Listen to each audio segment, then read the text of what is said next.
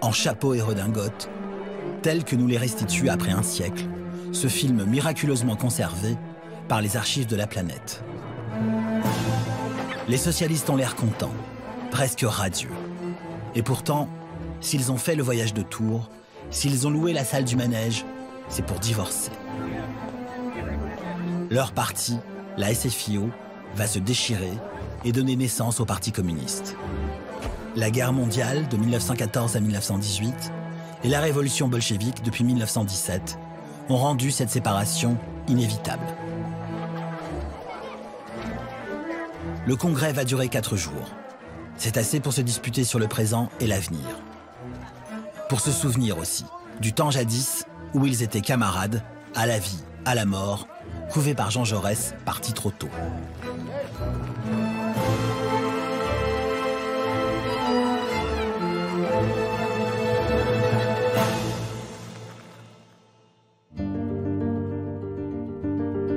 SFIO était née en 1905.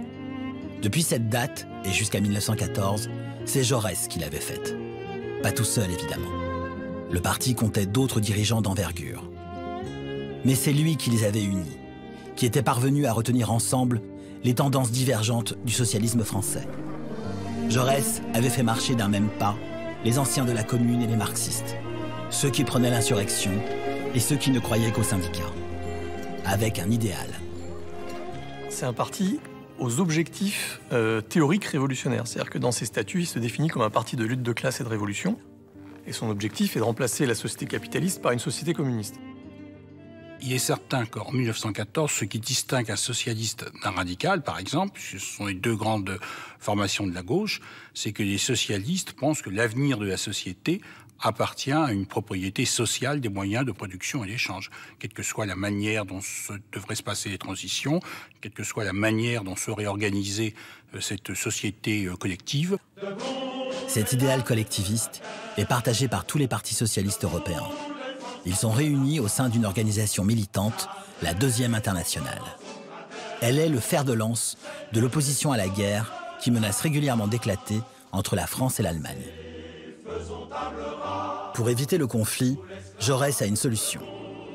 En cas de déclaration de guerre, il faut que les deux partis socialistes, l'allemand et le français, s'unissent pour appeler ensemble à la grève générale ouvrière. Mais cette résolution, évoquée à tous les congrès de l'international, n'est jamais adoptée qui n'est jamais adopté pour une raison bien simple, c'est que les social-démocraties germaniques n'en veulent pas.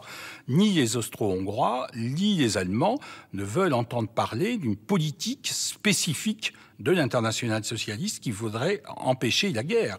Et ils ne sont pas les seuls. Dans le parti français, Jules Gued et bien d'autres considèrent qu'il s'agit de billevesées euh, euh, théoriques et dangereuses.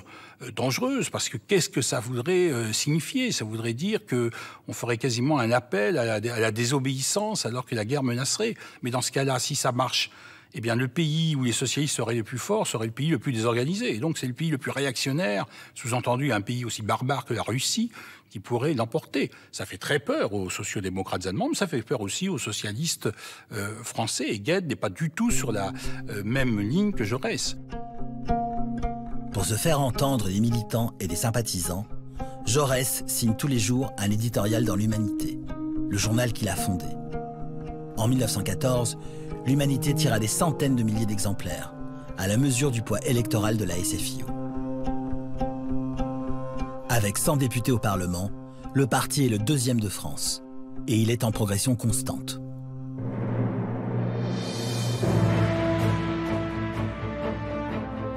Fin juillet 14, la menace de guerre surgit à nouveau. Jaurès, en conformité avec ses engagements, se lance à corps perdu dans une tentative pour conjurer la catastrophe. Dans la semaine décisive, il multiplie les entrevues et les meetings avec les dirigeants des partis socialistes européens, tout en continuant à écrire chaque jour son papier dans l'humanité.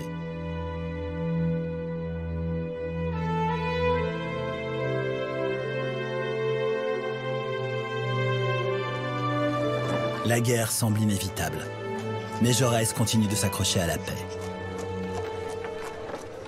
Le 31 juillet, il publie ce qui restera son dernier article. Ce qui importe avant tout, c'est la continuité de l'action. C'est le perpétuel éveil de la pensée et de la conscience ouvrière. Là est la vraie sauvegarde. Là est la garantie de l'avenir.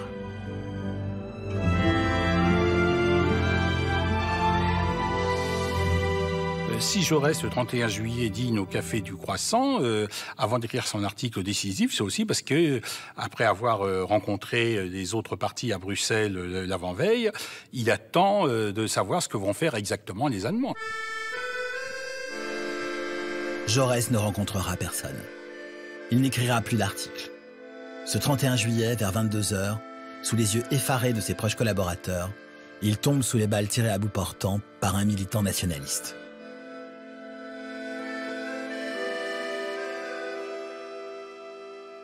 Le délégué allemand euh, arrivera, mais après la mort de Jaurès, et il arrivera avec une réponse qui, de toute façon, va être une réponse négative. Les sociodémocrates allemands euh, étaient décidés à ne rien faire concrètement contre la mobilisation allemande qui répondait à la mobilisation russe. Pourquoi? Parce que les Allemands considéraient que c'était les Russes qui provoquaient le conflit avec cette mobilisation générale et que face au danger d'invasion russe, eh bien, euh, les Allemands étaient dans l'obligation de se défendre. Tout va très vite maintenant, car le jeu des alliances militaires provoque un enchaînement inexorable. Trois jours après la mort de Jaurès, la France, liée par son traité d'alliance avec la Russie, est en guerre avec l'Allemagne. L'opposition des socialistes est emportée comme un fétu de paille. Ils veulent sincèrement empêcher la guerre. Au moment où ils, se rendent compte qu'ils n'y arrivent pas, euh, ils considèrent que leur pays est attaqué. Alors, les Allemands considèrent aussi que leur pays est attaqué, donc tout le monde est, le est, défenseur en fait. Euh, et donc là, à ce moment-là, ils se rallient effectivement euh, majoritairement euh, au principe de la défense nationale. Mais finalement, parce que les événements sont allés vite, parce qu'ils sont mal préparés, parce que la conception de l'internationalisme est, peu théorisée, assez peu claire.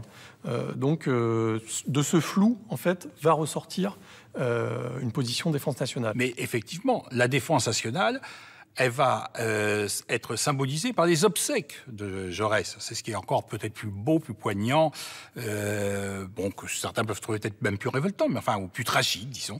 C'est comme du Shakespeare. C'est que le, celui qui incarnait la lutte contre la guerre, c'est Jaurès, et ce sont ses obsèques qui scellent l'union sacrée. Et ça se fait effectivement très naturellement. Viviani va parler, le président du Conseil va parler aux obsèques. Deschanel, le président de la Chambre des députés, rend hommage à Jaurès. Il y a des discours de tous les dirigeants socialistes de l'international.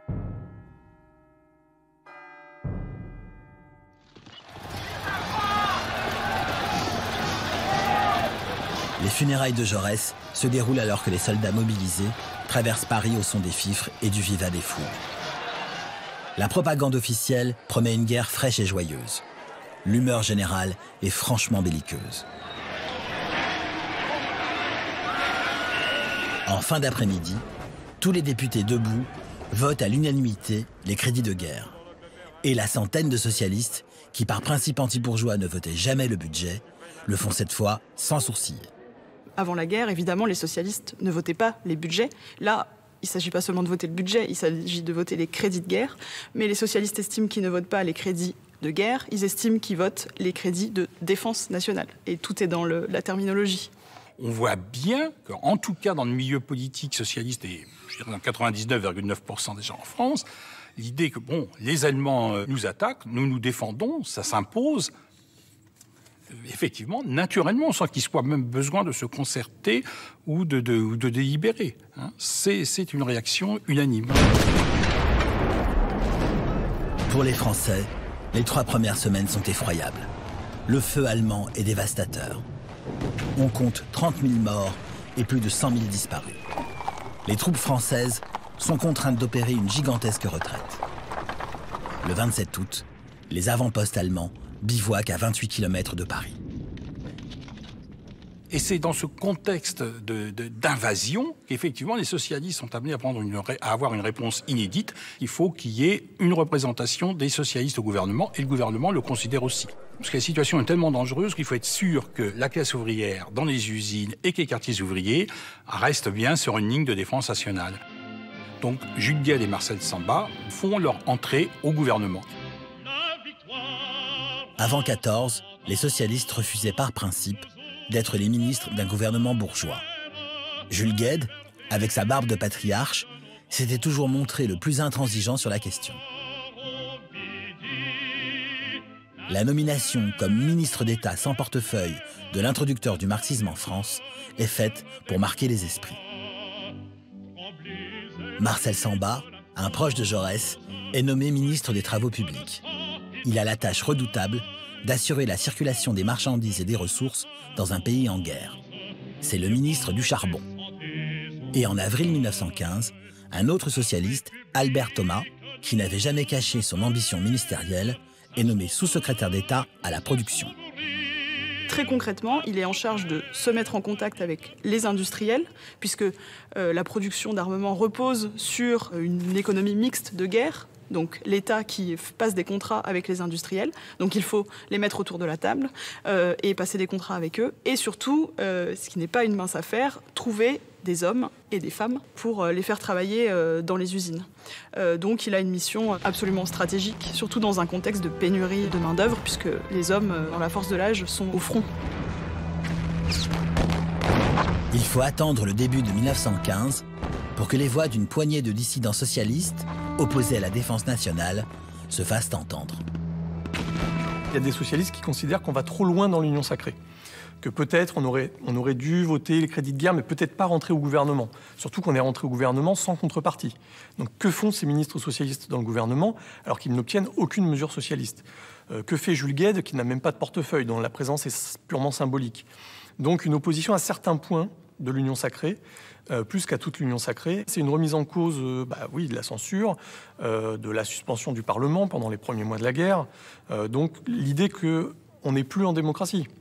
Plus de liberté de réunion, plus de liberté de la presse.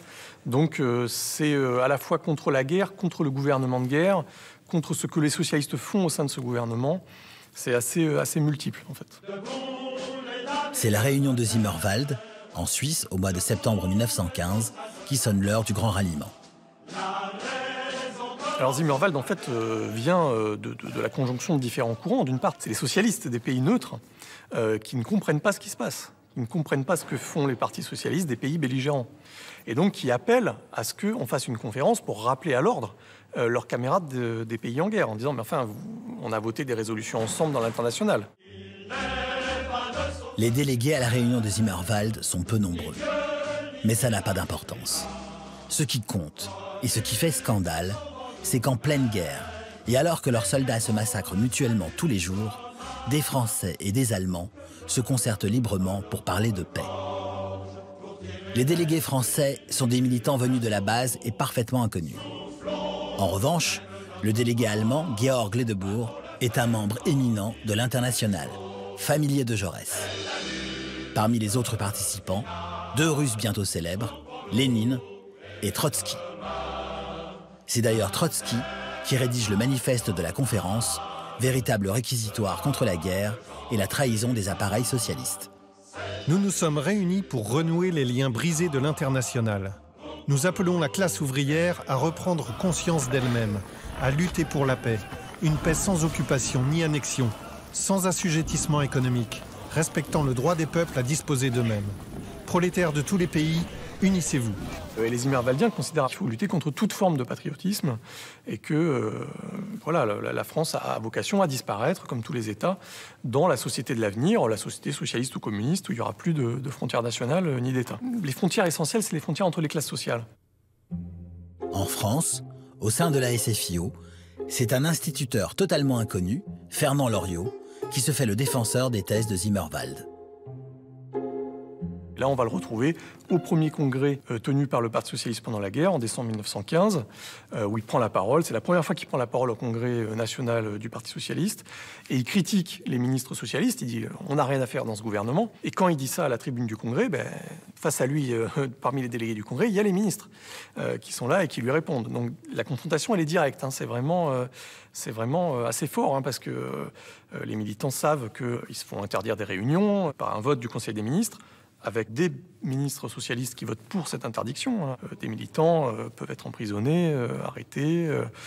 Loriot va être déplacé d'office en tant qu'instituteur pour, le sanctionner pour son action. Face à cette minorité pacifiste encore embryonnaire, les majoritaires de guerre assument leur position sans complexe. La gigantesque bataille de Verdun, qui commence en février 1916, renforce même leur détermination à obtenir la victoire totale sur l'ennemi allemand. Albert Thomas, chargé de la production des armes au sein du gouvernement, se dépense sans compter. Depuis son ministère, Thomas est en liaison constante avec la fine fleur du patronat français. Il passe avec les industriels des contrats de production pharaoniques.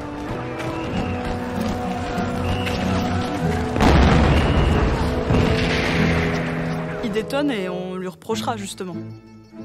Il est le ministre euh, de l'armement, ce que les communistes appelleront péjorativement le ministre des obus. C'est pas n'importe quelle place, c'est lui qui est responsable de la boucherie industrielle. Euh, et euh, il s'implique tellement qu'il délaisse quand même en partie les relations avec la SFIO.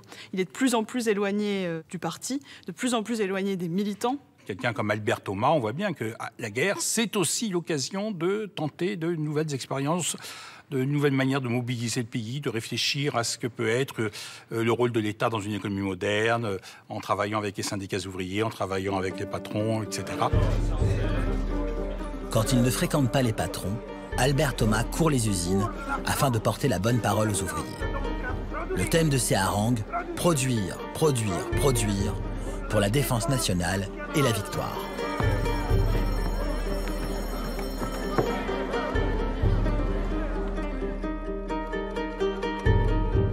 Première Guerre mondiale, c'est aussi euh, l'entrée vraiment de l'État dans euh, la gestion des affaires économiques. Euh, c'est un rêve socialiste en fait. C'est gérer l'économie de la société. Donc pour lui, il y voit un tremplin pour construire une nouvelle économie qui pourra perdurer après-guerre il y voit le moyen de euh, pousser la nationalisation des chemins de fer, de pousser la nationalisation euh, des mines, du charbon, enfin des éléments stratégiques de la nation. Euh, il est persuadé de, faire du socialisme, même si bien sûr il est quand même soumis aux injonctions de productivité qui contribuent à complètement faire sauter la législation du travail qui existait jusque-là à augmenter considérablement les heures de travail des main-d'œuvre dans les usines. donc c'est ambivalent. Mais, malgré l'effort industriel, la victoire ne vient pas. Les hommes sont braves, mais ils sont épuisés, sacrifiés. Et cette guerre qui dure trop longtemps a raison de la belle unité de la SFIO d'avant 14. Dès la fin de 1916, le parti de Jaurès est fractionné en trois camps. À droite, celui des partisans acharnés de la guerre patriotique qui détiennent toujours la majorité. Au centre, une minorité grandissante, représente déjà presque un tiers du parti. Elle refuse les excès de l'union sacrée et tout en votant les crédits de guerre, elle prône l'ouverture de négociations de paix.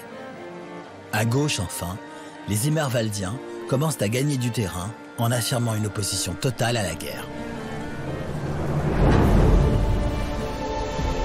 Les trois tendances qui s'opposeront à Tours en 1920 sont déjà fixées.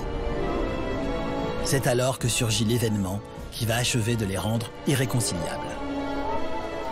Au mois de mars 1917, les soldats russes du front se mutinent.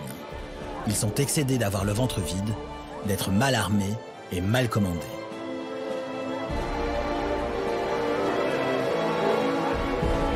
Les ouvriers des grandes villes se soulèvent également. En quelques jours, le tsar Nicolas II est contraint d'abdiquer. Les socialistes français, qui voyaient en lui un ennemi à abattre, sont naturellement contents.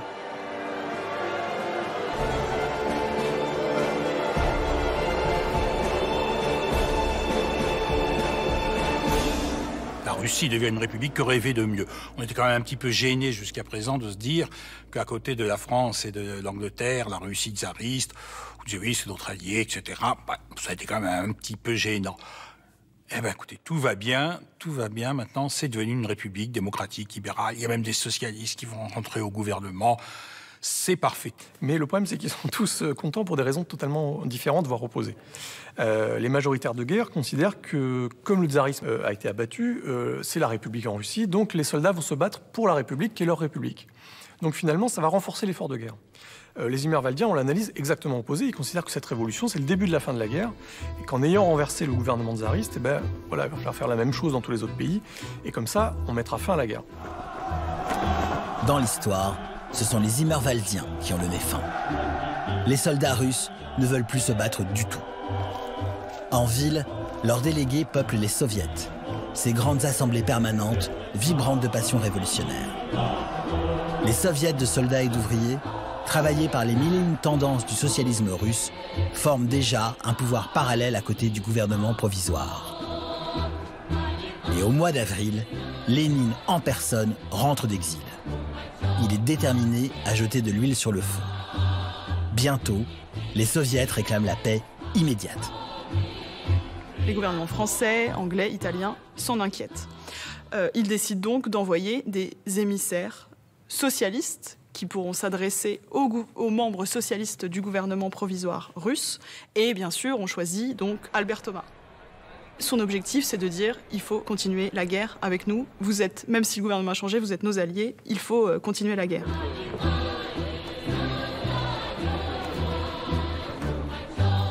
Et donc son argument, c'est de dire vous avez renversé le tsar de Moscou, continuez cette guerre qui est une guerre démocratique et renverser les tsars de Berlin et de Vienne. Pendant son voyage, il y a quantité euh, d'articles en France. Albert Thomas est en Russie, il visite les usines, la guerre va repartir, l'alliance est maintenue, etc.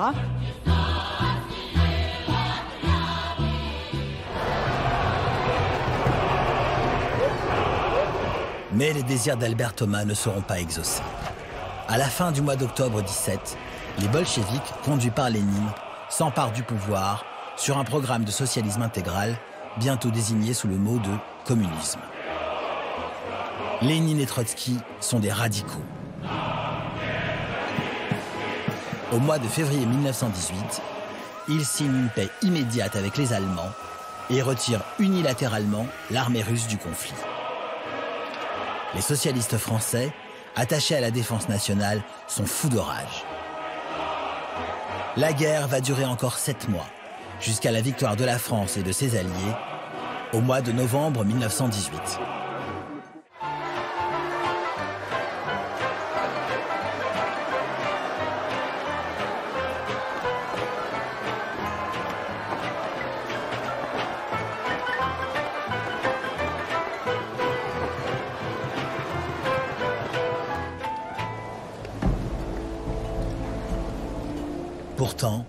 À l'image de la France victorieuse mais exsangue, la SFIO sort dévastée du conflit. Plusieurs dizaines de milliers de militants et de sympathisants sont morts sur le champ de bataille. La jeunesse du parti. Ceux qui ont survécu sont pour la plupart remontés contre les dirigeants qui ont soutenu quatre ans durant la politique de défense nationale.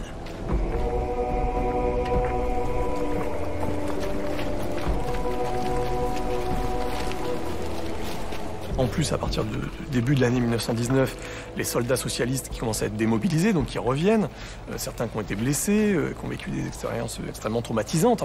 Et donc il y a une hostilité vis-à-vis des anciens majoritaires de guerre qui est très très nette et qui ne va pas du tout s'atténuer et qui même va en se renforçant en fait. Le Parti socialiste a beaucoup plus d'adhérents en 1919 qu'il n'en avait en 1914 c'est effectivement des, gens très souvent qui ne veulent plus connaître la guerre. Il n'y a pas forcément que des anciens combattants, ça peut y avoir aussi des gens, des jeunes, et qui sont traumatisés parce que la guerre a marqué le village, la ville, la famille. Donc il y a une aspiration très forte à autre chose, au changement. Fin 1918, Albert Thomas et les tenants de la défense nationale perdent enfin la majorité. Mieux que ça, ils s'effondrent, au profit du courant centriste dirigé par Jean Longuet, le petit-fils de Karl Marx. La nouvelle majorité de la SFIO est hétéroclite. Sur sa droite, Longuet a reçu le renfort d'anciens partisans de la guerre. Parmi eux, Léon Blum, qui se fait connaître en rédigeant la motion de soutien à Longuet. Marcel Cachin, cadre chevronné, l'orateur favori des meetings ouvriers, qui reçoit en récompense la direction de l'humanité. Et Ludovic Frossard, qui est nommé secrétaire général du parti puisque Longuet ne veut pas du poste. Sur sa gauche, les Immervaldiens lui ont apporté leur soutien du bout des lèvres. Ils sont toujours menés par l'instituteur Fernand Loriot et par Boris Souvarine, qui a combattu dans les tranchées et qui a perdu son frère aîné. C'est leur tendance qui a désormais le vent en poupe.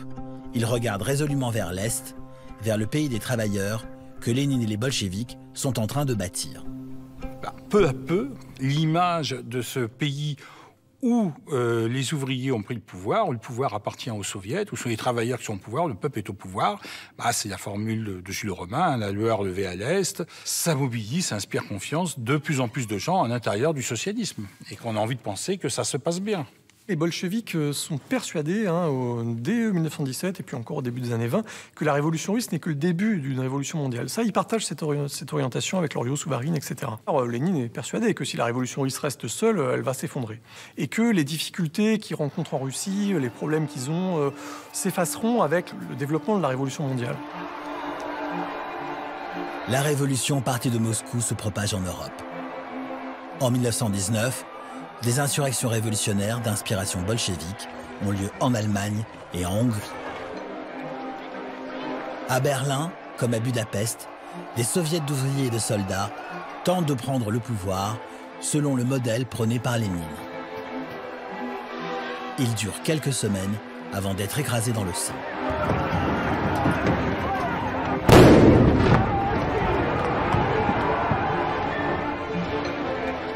La France, quant à elle, est secouée par une vague de grèves massives et durables.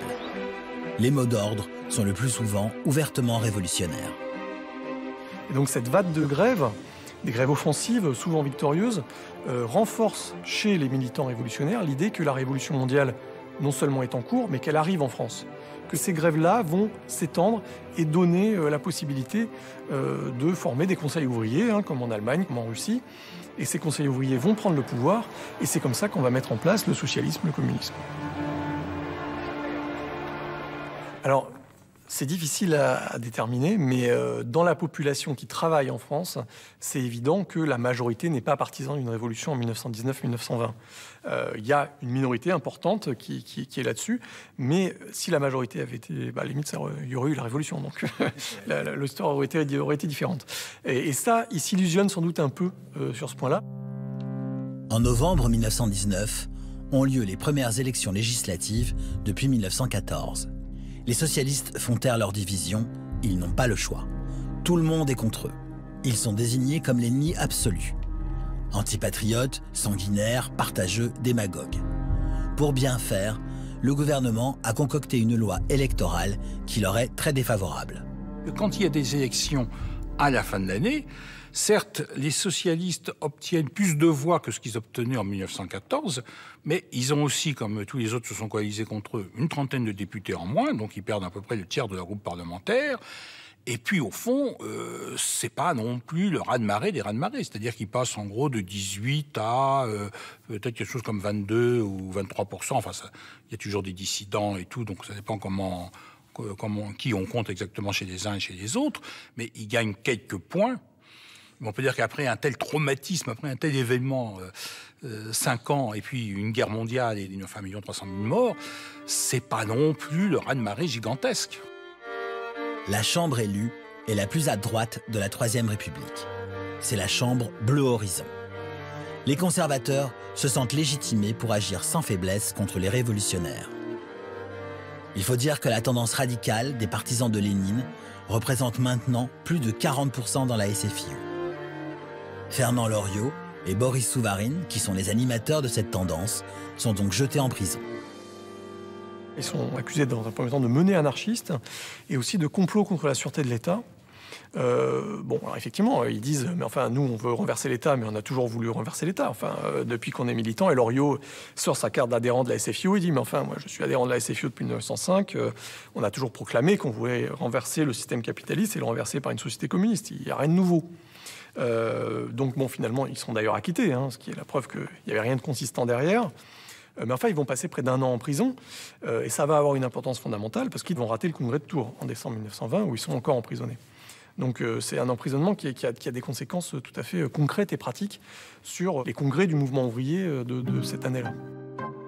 Quelques semaines avant leur arrestation, Loriot et Souvarine ont obtenu que la SFIO quitte la deuxième internationale qui n'a pas su s'opposer à la guerre. Il milite pour que le parti adhère à la troisième, qui vient tout juste d'être créée par les bolcheviks. Marcel Cachin et, Frossard sont, envoyés par le, Parti socialiste en fait en Russie pour négocier avec les bolcheviks une éventuelle reconstruction de l'international euh, autour de la Troisième Internationale, mais aussi d'autres partis qui n'y sont pas. Donc un mandat en fait un peu assez flou. Et quand ils arrivent, bah, ils se rendent bien compte que c'est pas du tout ce que veulent les bolcheviks. Les bolcheviks, eux, ils veulent construire leur international communiste sur leur base, enfin sur les bases qu'ils ont, qu'ils estiment être justes, évidemment, les bases définies par Lénine et puis ses collaborateurs. Et ils ne veulent pas d'une négociation euh, internationale, ils veulent simplement que, qu'on les rejoigne.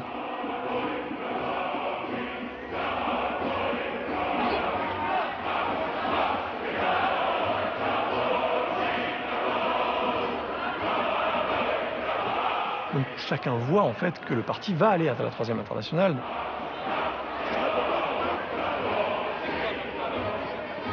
Cachin et Frossard, qui sont allés pendant l'été à Moscou, ont depuis la Russie annoncé en août 1920 qu'ils étaient partisans d'accepter les conditions d'adhésion à l'international communiste. Le voici, Frossard, descendant les marches afin de rejoindre Cachin et Zinoviev, le patron de la Troisième Internationale, pour la photo de famille.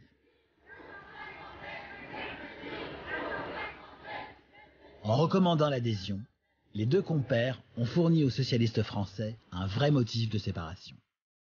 Il faut trancher, en convoquant un congrès extraordinaire. Ce sera à Tours dans cinq mois.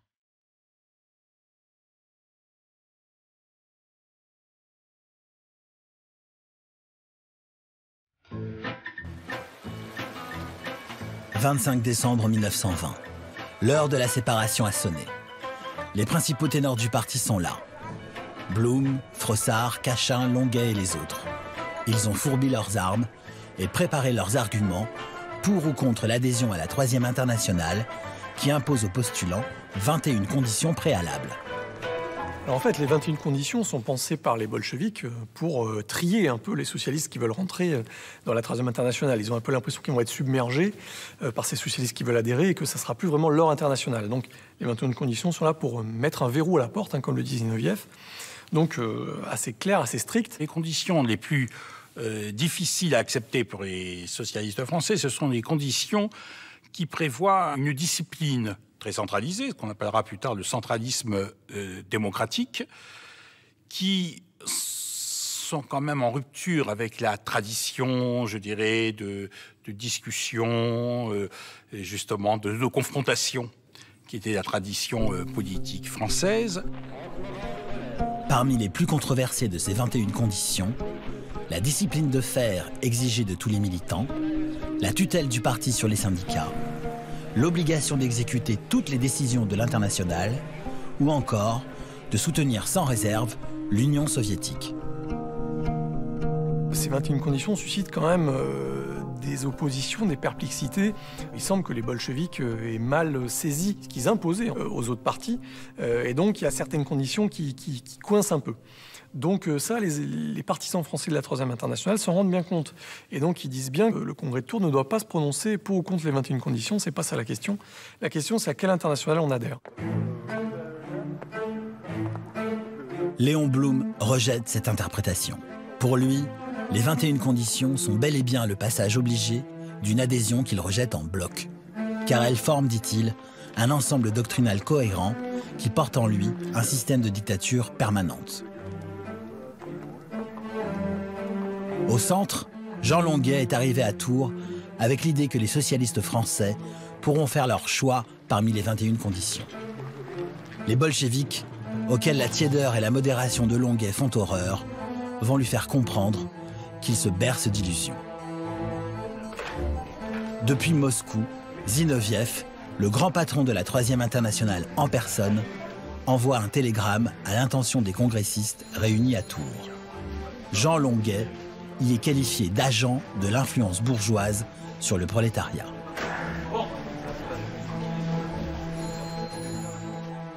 Longuet, piqué au vif, monte à la tribune pour dénoncer une internationale limitée fragmenté et sectaire.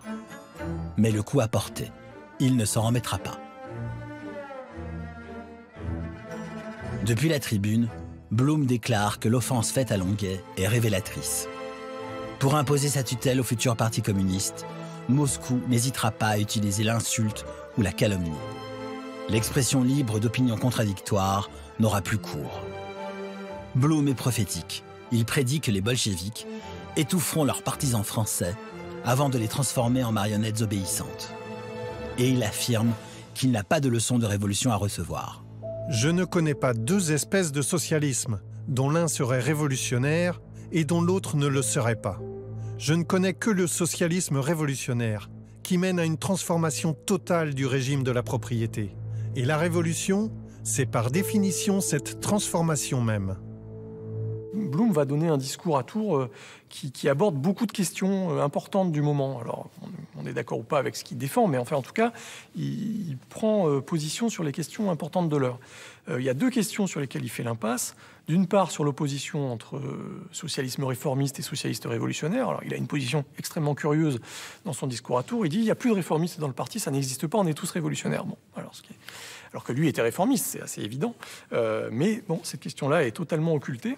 Et la deuxième question, c'est l'expérience de guerre. Alors ça, c'est tout à fait euh, caractéristique, puisque lui, qui était directeur de cabinet de, Marcel Samba, donc qui a, pris part à cette euh, participation socialiste au gouvernement, n'en dit pas un mot lors de son discours. C'est une question qui est totalement mise sous le tapis. Il manque d'une quelque chose de concret sur ben voilà, qu'est-ce qu'on a fait dans le passé, qu'est-ce qu'on fera à l'avenir. Pour l'aile gauche du parti, L'avenir est déjà là, à Moscou. Marcel Cachin, qui dirige l'humanité, déploie tous ses talents d'orateur pour convaincre que seule la Troisième Internationale ouvre la voie à la vraie révolution communiste. Il est religieusement écouté. Le fait est là. La République sociale est établie à Moscou.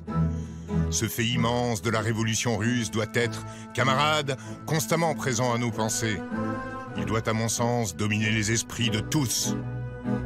Quand Blum critique le parti de petits soldats au garde à vous, Cachin réplique qu'il est bien de constituer un parti vigoureux et fortement discipliné pour faire la révolution. Que les Russes l'ont fait chez eux, qu'ils ont donné l'exemple qu'il faut suivre. Si Cachin défend la motion que Loriot et Souvarine, les deux Immervaldiens historiques, ont rédigée, c'est parce que ces deux derniers sont toujours détenus à la santé. Les deux prisonniers savent pourtant, et les congressistes aussi, que Marcel Cachin a été jusqu'en 1917 un partisan enthousiaste de la défense nationale. C'est le moment ou jamais de faire son autocritique. Cachin est obligé, en fait, à un moment de faire un monde honorable. Sinon, il ne pourrait pas euh, être accepté euh, dans le parti qui avait adhéré à la Troisième Internationale. Donc, il perdrait la direction de l'humanité. Donc, à un moment, il est obligé de, de, faire contrition et de dire Je vous demande pardon pour la position qu'on a prise pendant la guerre, etc. il considère voilà, qu'il s'est trompé il, se trompera beaucoup par la suite aussi, il changera beaucoup, d'orientation. Bon, après, il est loin d'être le seul. Et beaucoup de militants à la base, qui avaient voté pour les majoritaires de guerre en 1915, 1916 par exemple, vont totalement changer de vote en considérant que, voilà, on, peut faire le bilan de cette expérience-là et ce bilan est négatif. Et c'est parce que ces militants changent d'orientation, changent de vote, que euh, la motion Loriot-Souvarine au Congrès de Tours peut obtenir euh, presque 70% des suffrages. Sinon, ça ne serait pas possible. C'est bien parce que euh, des militants changent de courant que le rapport de force change totalement dans le parti.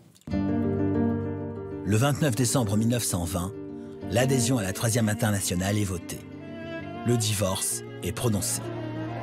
La SFIC, section française de l'Internationale communiste, est née. Elle se rebaptisera bientôt Parti communiste. Devant ce raz-de-marée, Léon Blum s'incline. Il déclare au vainqueur Nous garderons la vieille maison pendant que vous irez courir l'aventure. Dans le partage des biens, les perdants conservent le nom de SFIO, mais ce sont les communistes qui gardent pour eux l'humanité, le journal fondé par Jaurès.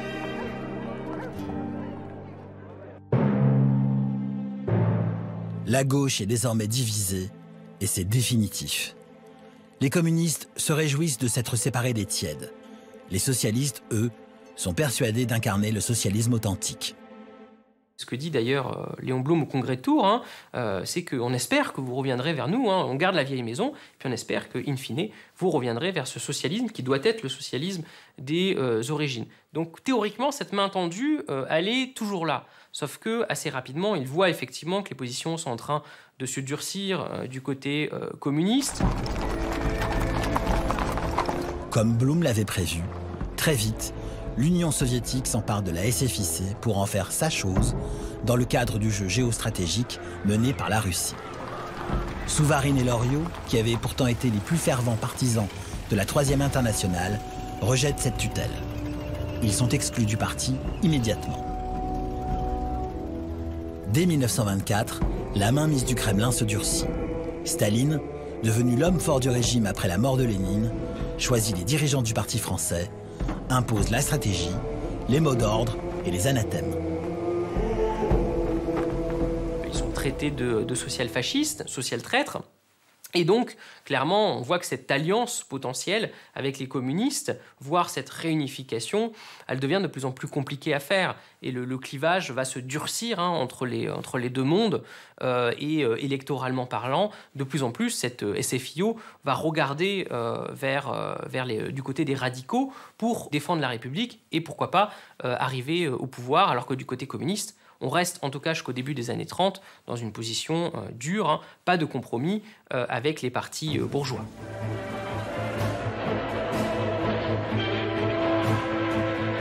L'arrivée d'Hitler au pouvoir détermine la première des grandes volte-face qui scandent l'histoire des communistes français.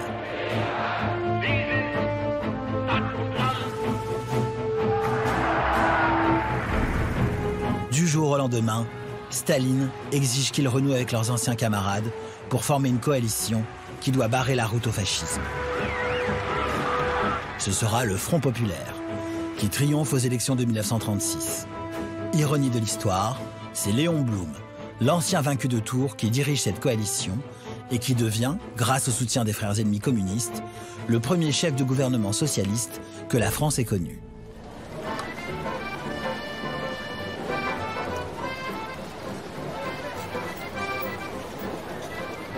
Gouvernement fait la difficulté de sa tâche, promet au pays qu'il fera tout ce qui dépend de lui pour y être égal.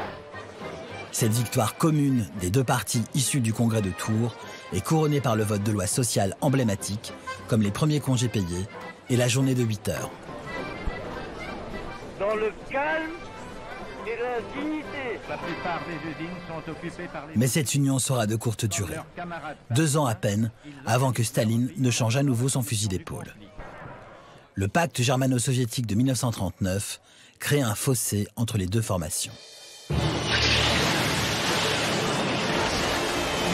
Le rapprochement s'effectue en 1941, quand l'armée rouge engage une guerre sans merci contre les hordes nazies qui l'amènera jusqu'à Berlin.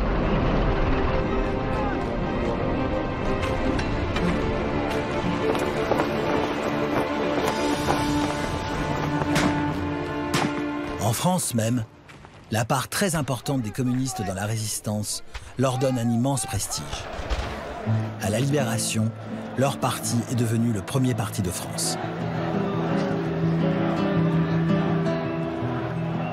Pour la première fois depuis la création du parti à Tours, les communistes entrent au gouvernement. L'ancien mineur Maurice Thorez devient ministre d'État. Avec les socialistes, mais aussi les gaullistes et les catholiques sociaux, le parti est la cheville ouvrière de ce grand moment d'union nationale. PCF et SFIO travaillent main dans la main à l'instauration des grandes conquêtes ouvrières de 1945 et notamment la sécurité sociale. Cette parenthèse œcuménique s'achève en 1947 quand commence la guerre froide. Staline ordonne aux communistes français de s'opposer résolument à tous ceux qui soutiennent l'Amérique. Une fois encore, ils obéissent, sans broncher. Ils sont renvoyés du gouvernement. Leur traversée du désert va durer 35 ans. Dans l'entre-deux-guerres, il y avait encore cette idée toujours d'une main tendue euh, vers les communistes. La guerre froide euh, a clairement marqué euh, une scission, notamment parce qu'à l'époque, les socialistes sont au pouvoir. Hein. C'est le gouvernement de Paul Ramadier qui voit l'exclusion des, des communistes. Et donc, l'écart euh, entre les deux partis s'est clairement accru à ce moment-là, entre d'un côté des socialistes qui sont dans la défense de la République telle qu'elle est à l'époque, et puis des communistes qui, vont s'installer de plus en plus eh bien, dans l'opposition à cette, à cette quatrième République, euh, jusqu'à finalement des grèves insurrectionnelles, hein, qui sont celles de 1947. Ça, ça a clairement euh, créé une fraction beaucoup plus dure entre les deux partis politiques, des haines aussi qui vont rester pendant longtemps, hein, qui vont mettre plus de 20 ans à véritablement être, être dépassées. Pendant toute la 4ème République, le Parti communiste est ostracisé. Les socialistes de la SFIO comptent parmi les plus virulents. C'est d'ailleurs Guy Mollet, leur patron, qui déclare « Les communistes ne sont pas à gauche, ils sont à l'est ». L'isolement du parti est complet. Et même Marcel Cachin, notre vieille connaissance de Tours, n'y peut rien. Monsieur Marcel Cachin, pendant le temps où l'on nous injuriait, ce qui me faisait le plus de peine, c'était de penser qu'on nous contestait ce titre de français, alors que nous étions les représentants les plus authentiques de ce pays et les fils les plus directs de la grande révolution française. Il faut attendre la mort de Staline en 1953 pour que les choses changent. Nikita Khrouchtchev lui succède. Il dénonce immédiatement les crimes de son prédécesseur. Khrouchtchev est le visage soviétique et souriant de la détente qui s'instaure dans les relations internationales. Grâce à lui, les communistes français redeviennent fréquentables. Ça tombe bien, car les socialistes ont maintenant besoin d'eux les institutions de la Ve République les ont rejetés dans l'opposition. Pour revenir au pouvoir, l'appoint des 22% de Français qui votent communiste leur est indispensable. François Mitterrand est l'artisan de ce rapprochement. Pour l'avenir, il faut que le nouveau Parti socialiste soit l'axe de la future majorité. C'est nécessaire encore parce qu'il faudra bien équilibrer le cas échéant, distancer cette autre force capitale de la gauche qu'est le Parti communiste. Puis enfin, tout simplement, il faudra bien gouverner. La ténacité de François Mitterrand a raison de la timidité des deux appareils. Les grandes retrouvailles officielles ont lieu en 1972 et elles suscitent un immense espoir au sein du peuple de gauche. Pour sceller leur alliance, PC et PS rédigent un programme commun. L'entente s'est faite sur les nationalisations, la diminution du temps de travail et l'augmentation des aides sociales. Autrement dit, la réforme, pas la révolution. Dans les années 70, les partis qui signent le programme commun n'ont rien à voir avec les partis de, 1921.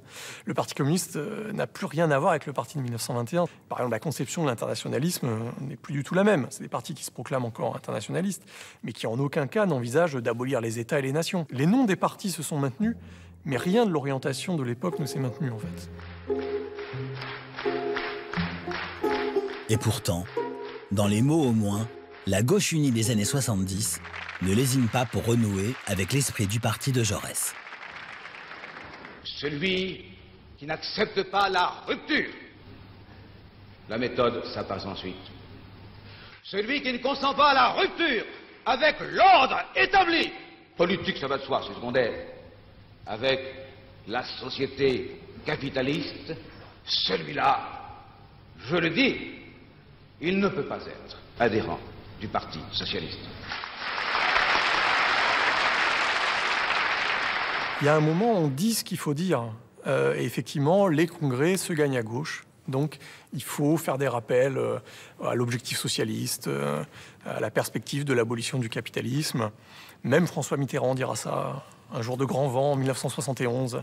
Qui n'est pas pour la rupture avec le capitalisme ne peut pas être adhérent du Parti socialiste. Est-ce qu'il y croit?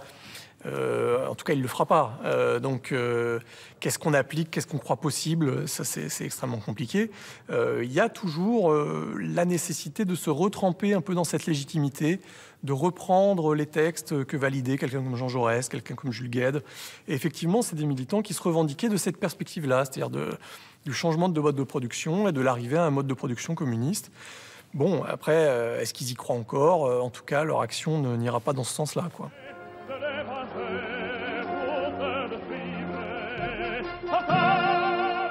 Quelques années plus tard, François Mitterrand est élu président de la République et quatre ministres communistes entrent au gouvernement.